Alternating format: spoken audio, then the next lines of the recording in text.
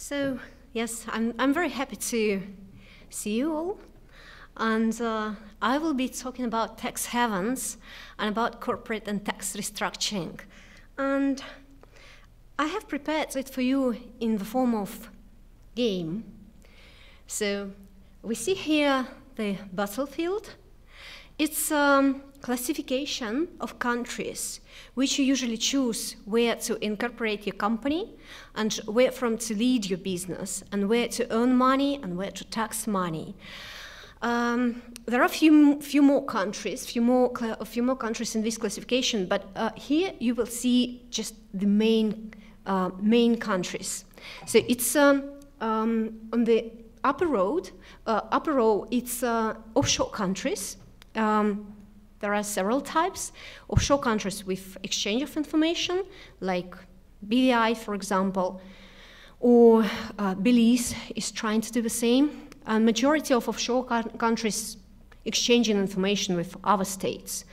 It's uh, offshore countries with limited exchange of information and offshore countries with uh, non-exchange of information. Um, in few years, I'm afraid it, such countries will not exist. The middle row is uh, uh, about countries with special taxation regimes, which are very comfortable to business, uh, in, but um, not everybody is uh, living in this country, not everybody is doing business in this country. Like, for example, country with territorial system of taxation, uh, the uh, letter T is about this, like Malta. Um, country with, uh, oh, I'm sorry, uh, territorial system of taxation like Hong Kong, Singapore, uh, imputation system like Malta, when uh, taxation happens um, at the stage of payment of dividends, and uh, special regimes. There are few uh, countries which can be very interesting for software developers and software publishers, like, like Luxembourg, for example, with special intellectual property taxation regime, uh, which gives um, quite low tax rates for uh, royalty payments for licensing of software games uh, or any other software products. Uh, or, for example, Cyprus, uh, which also has special taxation regime for uh, royalty payments from software, from any other intellectual property. And on the lower row, you can see normal countries uh, like, for example, Germany, France, many others. And these countries also uh, can differ. Some countries can have very high corporate taxation, but quite low level of social security taxation and uh, low level of personal taxation. Some countries have high level of uh, all types of taxation, like social security um, contributions, corporate taxes, and income tax. Some countries have average level of taxation. Um, I would say that such countries doesn't exist in European Union uh, because uh, social security contributions are quite high in every European country. They're all above 30%.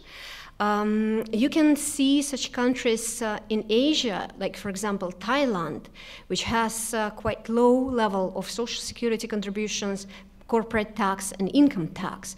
And some software developers uh, relocate there uh, just uh, not because of climate, not because of infrastructure, but also because of tax reasons. But normally, um, normally, we situate in a country with high level of social security contributions, high level of uh, personal income tax, and high level of corporate tax. So what you do if you situate there? Um, is it possible to cut some, uh, to some extent, tax burden or not? Um, is it possible to use tax havens? Is it possible to use countries uh, which are in the middle row, like countries with territorial system of taxation, Hong Kong, Singapore? Uh, usually, uh, when we develop corporate and tax structure with uh, software developers, uh, including software games developers, uh, we analyze few things. And these things are like this. First of all, we need to understand what we can relocate to other country. Uh, you can see units you can move to another country, founders, marketing department, sales department, developers, product managers, and uh, or you can only establish legal entity, company in particular country, uh, and do not relocate any people to other country, which is the bad case. And I will describe this case and tax implications of this case. And uh, another things you can relocate um, are assets, but um, not a lot of assets software company can relocate. Uh, intangibles. Uh, sometimes uh, companies uh, they relocate legal entity, so they establish company in BVI, for example, and relocate intellectual property there and start monetization from BVI. And I will tell about uh, uh, about implications, where it is possible to do, where it is not. And uh, definitely you can relocate earnings uh, if you establish company in tax haven or in the country from this middle row, uh, like Hong Kong, Singapore, Malta, Cyprus, Luxembourg. Uh, you connect your earnings to this company. And when you do restructuring, so when you choose one of these things, one of these units, and relocate it from country where you situate uh, with high taxation to another country, uh, you have some battle, some fight with tax authorities. And tax authorities, they have particular means to attack you. And uh, usually, um, it is limited list, particular list of these uh, things they can use. Uh, every country has uh, their particular list. Uh, some countries, they are quite uh, strict, some not. So you just need to understand um, which means uh, uh, your country have and how it can attack you. And usually it's um, a particular means, like for example, controlled foreign company.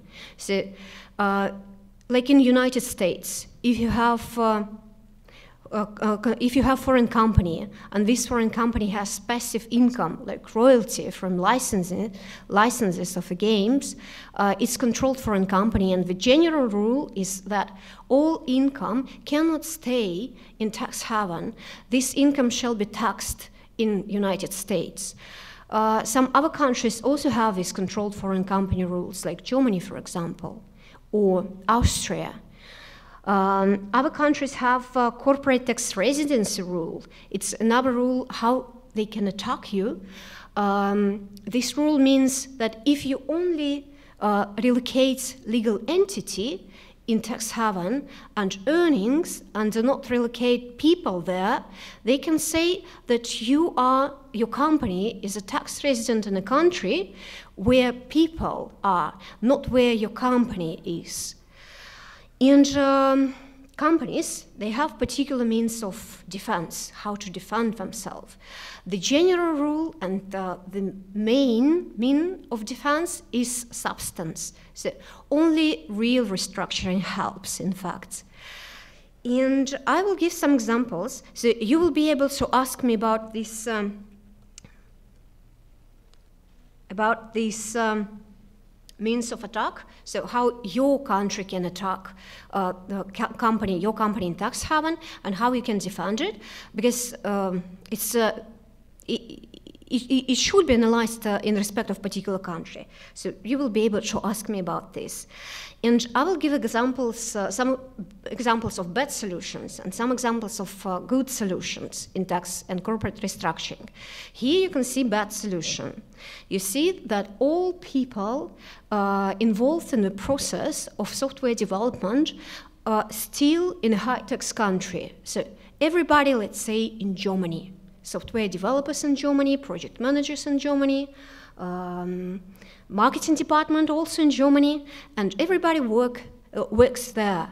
But the company is registered, let's say, in some offshore jurisdiction. Here, um, offshore jurisdiction with non-exchange of information is chosen, but um, it's uh, such countries doesn't really exist. So let's uh, take as an example Belize or British Virgin Islands. So you have company, everybody's in Germany, but you have company in uh, British Virgin Islands, and uh, you registered intellectual property in the name of this company, and uh, you conclude agreements with publishers, uh, with other contractors, also in the name of this company. So your earnings go directly to tax haven. Why this case is really bad solution? Because first of all, uh, you have reputational risks. Not all publishers want to work with tax haven. Some of them still do, but many of them don't. And uh, second, you have really high tax risks here. If uh, tax authorities in Germany uh, will uh, be able to see the transactions and be able to, will be able to see that everybody is working in Germany. They have 100% of uh, chance to, sta- to, to state and to win that company, offshore company, shall be taxed in Germany and it will be taxed in Germany. Um, so it's a pure case of tax avoidance, and uh, it has very high tax risks and very high reputational risks. And the worst case uh, is when company is incorporated in tax haven and doesn't use any advantages of tax haven. Sometimes on pre-monetization stage, it can be very favorable because um, in particular countries, like for example in Germany, in Luxembourg, and Netherlands, uh, it can be more complicated to incorporate company than in offshore jurisdictions. And on pre-monetization state, stage, um, if I want to um, formalize uh, the ownership in respect of my intellectual property. If I want to formalize my relations with uh, co-founders by concluding some shareholders agreements, I can choose um, British Virgin Islands or Belize, for example, because it it is much simpler to incorporate company there, and it is, it is much simpler to uh, establish um, and to issue different classes of shares with different rights. For example, for founders with uh, all set of rights and obligations, for uh, employees or for managers uh, who will be granted by some options.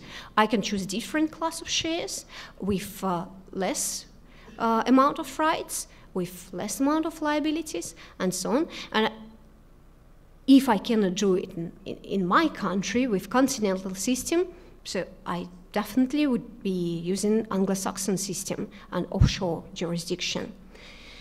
And um, also, important thing that, uh, for example, many continental countries they do not have concept of vesting, uh, which is uh, gradual distribution of shares of a company, um, uh, correlating with uh, particular criteria founders have to fulfill.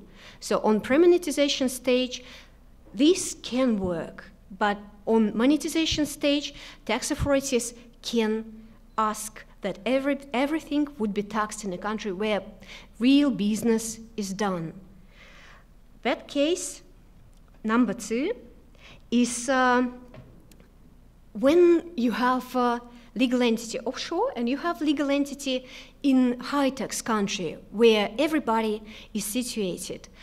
And uh, offshore company has all money from publisher and uh, high tax uh, high tax company has just small amount. Uh, in this case, tax authorities, they can say that relations between uh, these two companies sh uh, should be vice versa. Uh, offshore company has, may have some small profit because nobody is there, And a high tax company has to have all profits because everybody is doing work there. Uh, and just uh, two last slides. Um, it's uh, examples of good solutions. For example, this is good solution. Uh, this is not very good solution from a state uh, for, um, uh, for for your pocket because in this case you pay more taxes. But in this case, uh, this is a legally correct solution. So you can have a legal entity in uh, offshore jurisdiction, uh, just to regulate relations with uh, co-founders, with investors, with uh, employees uh, who hold particular options. Um, but you do all business in high tax country, you have company there, and all earnings go there. And all relations with publishers also um, are in the name of this high tax company. And the last example of good solution is uh, when you actually relocate some people in another jurisdiction. For example, in a jurisdiction with particular regime of taxation of royalty, uh, you still have some people, like for example, software developers, uh, product managers, um, or maybe sales department in a high-tax country just to develop software and to sell this software, but you relocate um, some for example, marketing department, uh, which develops strategy, uh, how to sell, and so on. You relocate them in another country, let's say Luxembourg. And in this case, you distribute, you allocate profit depending on functions. And if you do it correctly, uh, tax authorities uh, have no claims to you. So this is a good solution. And uh, I, I, I, guess presentations will be, will be, published on the website, right? And uh, here you can see just your basic checklist. If you want to have corporate and tax restructuring uh, and thinking about relocation of your company in some other jurisdiction, uh, you can use this checklist, so it will be available on the website. And I will be at your disposal for your questions. It can be complicated, so it's not necessary, not necessary to ask questions now. Uh, I will be here, you can ask questions later. Thank you. Right, thank you, everyone.